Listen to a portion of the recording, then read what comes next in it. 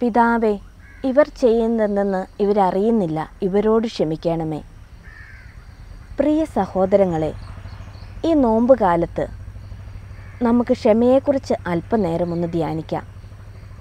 ക്ഷമ മനുഷ്യ ജീവിതത്തിൽ ഏറ്റവും അത്യാവശ്യം വേണ്ട ഒരു പുണ്യമാണ് ക്ഷമ.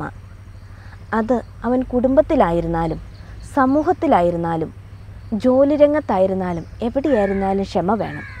ക്ഷമയുണ്ടെങ്കിലേ നമ്മുടെ ഓരോ പ്രവർത്തനങ്ങളും വിജയിക്കൂ. നമ്മൾ രണ്ടുപേർ ഒരുമിച്ച് ഒരു പ്രവർത്തനം ചെയ്യുകയാണെങ്കിൽ അവിടെയും ക്ഷമയുണ്ടെങ്കിലേ അവിടെ അതിനൊരു വിജയം കാണാൻ സാധിക്കൂ. നാം ഓരോരുത്തരും ക്ഷമയുടെ ഉപകരണങ്ങളായി തീരണം. നമ്മെ ക്ഷമിക്കാൻ പഠിപ്പിച്ച ഈശോ കുരിശിൽ കിടന്ന് ക്ഷമിച്ചുകൊണ്ട് നമ്മെ കാണിച്ചു തരുന്നുണ്ട്. ഇതുപോലെ ക്ഷമിക്കുവിൻ. നാം ഒക്കെ ക്ഷമയെക്കുറിച്ച് പറയും. ഞാൻ ക്ഷമിച്ചു. ഭൂമിയോളം ഞാൻ ക്ഷമിച്ചു. അതെ എന്റെ ക്ഷമയുടെ നെല്ലിപ്പലക വരെ എത്തി എന്നൊക്കെ നാം പറയാറുണ്ട്. പക്ഷേ ഈശോ നമ്മോട് പറയുന്നത് അങ്ങനെയല്ല. നീ ക്ഷമിക്കേണ്ടത് ഭൂമിയോളമല്ല. നീ സ്വർഗത്തോളം ക്ഷമിക്കണം.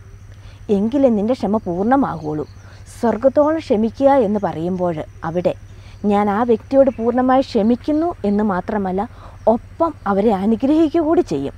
അങ്ങനെ ആകുമ്പോഴാണ് നമ്മുടെ ക്ഷമ പൂർണമാകുന്നത്. അപ്പം നമ്മുടെ മനസ്സിൽ അവരോട് യാതൊരു വെറുപ്പുമില്ല നാം അവരെ നമ്മുടെ ഹൃദയത്തോട് ചേർത്ത് വെക്കുന്നു.